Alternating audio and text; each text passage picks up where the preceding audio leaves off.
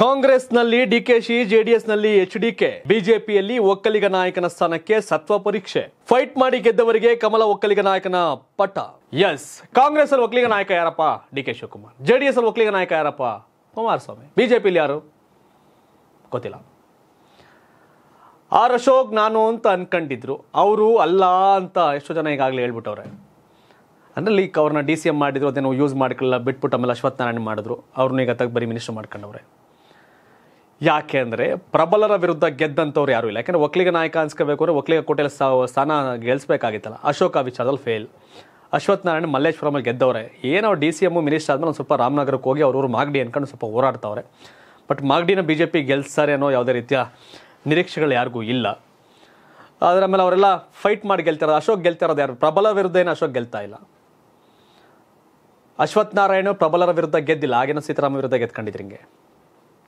ಹರಿಪ್ರಸಾದ್ ತಮ್ಮ B K Shivaram ವಿರುದ್ಧ ಗೆದ್ದಿದ್ರು. ಅಂದರೆ ಹರಿಪ್ರಸಾದೇ ಸ್ಟ್ರಾಂಗ್ ಅಲ್ಲ. ಇನ್ನು ಶಿವರಾಮ್ ವಿರುದ್ಧ ಗೆದ್ದಿದ್ದು ಅದೇನು ದೊಡ್ಡ ವಿಚಾರ ಅಲ್ಲ ಅಂತ. ಕಳೆದ ಬಾರಿ ಕೆಂಗಲ್ ಶ್ರೀಪಾದ್ ರೇಣು, ಕೆಂಗಲ್ ಹನುಮಂತ್ನ ನೈರೋರ್ ಫ್ಯಾಮಿಲಿ ಅಂದರೆ ಕೆಂಗಲ್ ಅವ್ರು ಸ್ಟ್ರಾಂಗು ಬಟ್ ಅವ್ರ ಮೊಮ್ಮಗ ಸ್ಟ್ರಾಂಗ್ ಅಲ್ಲ. ಸೊ ಹಾಗಾಗಿ ಇನ್ನು ಸಿ ಪಿ ಯೋಗೇಶ್ವರ್, ಅವರು ಕುಮಾರಸ್ವಾಮಿ ವಿರುದ್ಧ ಸೋತವ್ರೆ, ಅನಿತಾ ಕುಮಾರಸ್ವಾಮಿ ವಿರುದ್ಧ ಗೆದ್ದವ್ರೆ, ಮತ್ತೆ ಕುಮಾರಸ್ವಾಮಿ ವಿರುದ್ಧ ಗೆಲ್ತೀನಿ ನಿಂತವ್ರೆ. C T Ravi. ಸದಾನಂದ ಗೌಡ್ರನ್ನ ನಮ್ಮ ಹಳೆ ಮೈಸೂರು ಭಾಗದ ಒಕ್ಕಲಿಗರು ಒಕ್ಕಲಿಗರು ಅಂತ ಒಪ್ಪಲ್ಲ. ಶೋಭಾ ಕರಂದ್ಲಾಜಿ ಅವರನ್ನ ಒಕ್ಕಲಿಗರು ಅಂತ ಒಪ್ಪಲ್ಲ. ಹಾಗಾಗಿ ರೂಲ್ ಡೌಟ್ ಅವರಿಬ್ಬರು ಹತ್ತಲ ಕಡೆಗೆ. ಈಗ fight between Ashok Ashwath Narayan C T Ravi ಹಾಗೆ ಸಿ ಪಿ ಯೋಗೇಶ್ವರ್. ಒಕ್ಕಲಿಗ ನಾಯಕನಲ್ಲಿ. ಅಶೋಕ್ ಈಗಾಗಲೇ ಫೇಲ್ ಅಶ್ವಥ್ ನಾರಾಯಣ್ ಸ್ವಲ್ಪ ಫೇಲ್ ಇನ್ನು ಸಿ ಟಿ ರವಿ ಅವರು ಹಾಗೆ ಇತ್ಲ ಕಡೆ ಸಿ ಪಿ ಯೋಗೇಶ್ವರ್. ಕುಮಾರಸ್ವಾಮಿ ಅವ್ರ ವಿರುದ್ಧ ಚುನಾವಣೆಯನ್ನು ಯೋಗೇಶ್ವರ್ ಗೆದ್ದರೆ ಒಕ್ಕಲಿಗ ನಾಯಕ ಆಗಿ ಎಮರ್ಜ್ ಆಗ್ತಾರೆ. ಗೆದ್ರೆ, ಸಿ ಪಿ ಯೋಗೇಶ್ವರ್, ಚನ್ನಪಟ್ಟಣದಲ್ಲಿ ಗೆದ್ರೆ, ಕುಮಾರಸ್ವಾಮಿ ವಿರುದ್ಧ ಗೆದ್ರೆ ಬಿ ಜೆ ಪಿಯ ಪ್ರಶ್ನಾತೀತ ಒಕ್ಕಲಿಗ ನಾಯಕ ಯೋಗೇಶ್ವರ್. ನೋ ಡೌಟ್ ಅದು ಹೈಕಮಾಂಡ್ಗೂ ಗೊತ್ತು. ಅಂಡ್ ಸಿ ಟಿ ರವಿ ತಾವು ಗೆದ್ದು ಒಂದಷ್ಟು ಸ್ಥಾನಗಳನ್ನು ಗೆಲ್ಲಿಸಿಕೊಂಡು ಬಂದರೆ,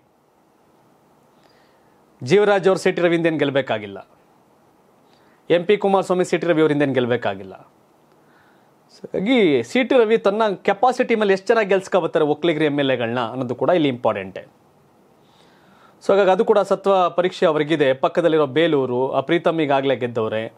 ಹಾಸನದಲ್ಲಿ ಒಂದಷ್ಟು ಸ್ಥಾನ ಗೆಲ್ಸ್ಕೊಂಡು ಇನ್ನೊಂದಷ್ಟು ಏನೋ ಮ್ಯಾಜಿಕ್ ಮಾಡಿದ್ರೆ ಸಿ ಟಿ ರವಿ ಅವರು ಕೂಡ ಆಗ್ಬೋದು. ಈಗ ಒಕ್ಕಲಿಗ ನಾಯಕನ ಸ್ಥಾನದಲ್ಲಿ fight between C T Ravi versus C P Yogeshwar.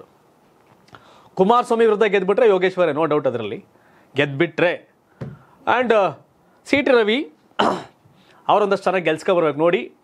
ಇದುವರೆಗೂ ಬಿ ಜೆ ಪಿ ಗೆಲ್ಲದ ಸ್ಥಾನಗಳ ಪಟ್ಟಿ ಇಟ್ಕೊಂಡು ನಾನು ಇಲ್ಲಿ ಗೆಲ್ಸ್ಕೊ ಬರ್ತೀನಿ ಅಂತ ಹೇಳಿ ಗೆಲ್ಸ್ಕೊ ಬಂದರೆ ಅವರು ಲೀಡರ್ ಆಗ್ಬೋದು. ಅಶ್ವಥ್ ನಾರಾಯಣ ಅಷ್ಟೇ. ಇದುವರೆಗೂ ಬಿ ಜೆ ಪಿ ಗೆಲ್ಲಲಾಗದ ಕ್ಷೇತ್ರನ ಪಟ್ಟಿ ತಗೊಂಡು ಗೆಲ್ಸ್ಕೊ ಬಂದರೆ ಅವರು ಒಕ್ಕಲಿಗ ಲೀಡರ್ ಅಂತ ಒಪ್ಕೋತಾರೆ. ನಾನು ಅಶೋಕು ಅಷ್ಟೇ, ಪಟ್ಟಿ ಇಟ್ಕೊಂಡು ನೋಡಿ ಇಲ್ಲಿ ಬಿ ಜೆ ಪಿ ಗೆದ್ದಿಲ್ಲ, ಇವೆಲ್ಲ ಗೆಲ್ಸ್ಕೊ ಬರ್ತೀನಿ ಅಂತ ಅಶೋಕ್ ಹೇಳ್ಬಿಟ್ಟು ಗೆಲ್ಸ್ಕೊ ಬಂದರೆ ಅವರು ಆಗ್ಬೋದು. ಈಗಲೂ ಚಾನ್ಸಸ್ ಇದೆ. ಬಟ್ ಈ ನಾಲ್ವರಲ್ಲಿ R Ashok, Ashwath Narayan, C T Ravi ಹಾಗೆ ಯೋಗೇಶ್ವರ್. ಇವರಲ್ಲಿ ಪ್ರಬಲರ ವಿರುದ್ಧ ಸ್ಪರ್ಧೆ ಮಾಡ್ತಿರೋದು ಯೋಗೇಶ್ವರ್. ಆದ ಕಾರಣಕ್ಕೆ ಕುಮಾರಸ್ವಾಮಿ ಅವ್ರ ವಿರುದ್ಧ ಗೆದ್ದುಬಿಟ್ರೆ ಒಕ್ ಬಿ ಜೆ ಪಿ ಒಕ್ಕಲಿಗ ನಾಯಕ ಯೋಗೇಶ್ವರ್ ಮುಂದೆ ಅವ್ರಿಗೆ ಅನುಕೂಲ ಆಗುತ್ತೆ. ಬಟ್ ಇವೆಲ್ಲ ಸಾಧ್ಯವೇ ಕಾದ್ ನೋಡಬೇಕು. ನಿಮ್ಮ ಪ್ರಕಾರ ಬಿ ಜೆ ಪಿಯಲ್ಲಿ ಪ್ರಬಲರ ವಿರುದ್ಧ ಹೋರಾಟ ಮಾಡಿ ಪಕ್ಷ ಗೆಲ್ಲಿಸಿಕೊಂಡು ಬರುವಂಥ ತಾಕತ್ ಯಾರಿಗಿದೆ? ಸಿ ಟಿ ರವಿ ಅವ್ರಿಗ, ಯೋಗೇಶ್ವರ್ ಅವ್ರಿಗ, ಅಶ್ವಥ್ ನಾರಾಯಣ ಅವ್ರಿಗ, ಆರ್ ಅಶೋಕ್ ಅವ್ರಿಗ. ಯಾರು ಬಿ ಜೆ ಪಿಯ ಒಕ್ಕಲಿಗ ನಾಯಕನಾಗಲಿಕ್ಕೆ ಅರ್ಹತೆ, ಯೋಗ್ಯತೆ ಕೆಪಾಸಿಟಿ ಐತೆ? ಕಾಮೆಂಟ್ ಮಾಡಿ ತಿಳಿಸಿ. ಹಾಗೆ ಎರಡ್ ಸಾವಿರದ ಇಪ್ಪತ್ಮೂರಕ್ಕೆ ಯಾವ ಪಕ್ಷ ಅಧಿಕಾರಕ್ಕೆ ಬರುತ್ತೆ? ಯಾರು ಮುಖ್ಯಮಂತ್ರಿ ಆಗ್ತಾರೆ? ನಿಮ್ಮ ಕ್ಷೇತ್ರ ಯಾವುದು? ನಿಮ್ಮ ಕ್ಷೇತ್ರದಲ್ಲಿ ಯಾರು ಗೆಲ್ತಾರೆ? ಕಾಮೆಂಟ್ ಮಾಡಿ ತಿಳಿಸಿ. ಇದು ಕರ್ನಾಟಕ ಚಿವಿ ಕನ್ನಡಿಗರ ಧ್ವನಿ.